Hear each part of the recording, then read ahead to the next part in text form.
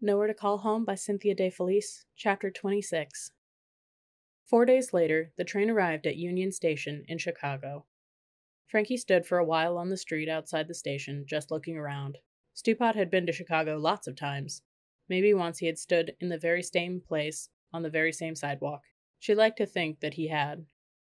She liked knowing, too, that Big Chi was a crossroads for hobos from every part of the country Junius had promised her that if he went tramping, he'd show up at her Aunt Bushnell's door.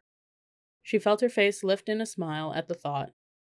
After asking a passerby directions to her aunt's street, she decided to walk there, even though it was several miles north of the station. She was used to walking. It would give her a chance to get a feel for this new city, and to think about what she would say when she was actually face to face with Aunt Bushnell.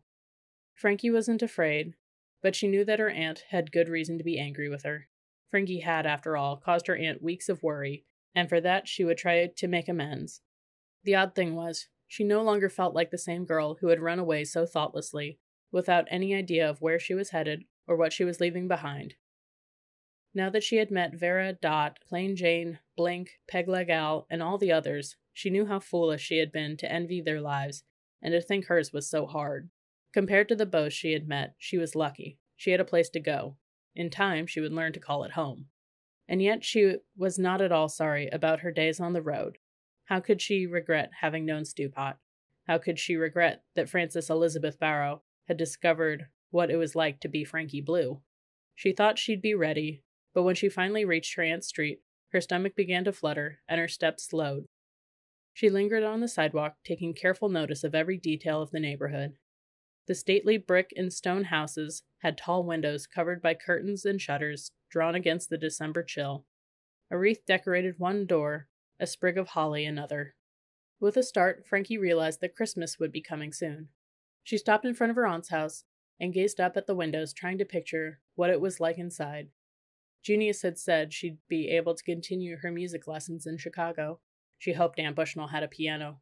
Hitching her bag firmly across her shoulders, she took in a deep breath and stepped up to the gate to let herself in. A mark on the white paint of the gate post caught her eye. As she stepped closer to examine it, her eyes widened in disbelief. Scratched into the wooden post was a crude picture of a cat, two circles with pointed ears and whiskers, stick legs, and a tail. Frankie checked the address again, and an incredulous laugh burst from her mouth.